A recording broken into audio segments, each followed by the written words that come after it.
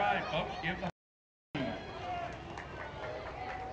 Ladies and gentlemen, I believe that that concludes our parade. Hope you have a great day in Adairville. Stay tonight.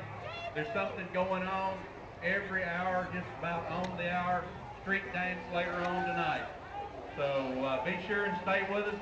If you had a good time, be sure and tell some of the people at the chamber what a good time you had.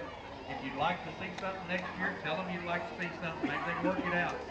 So uh, thank you for being here. Have a great afternoon. Have a safe trip home.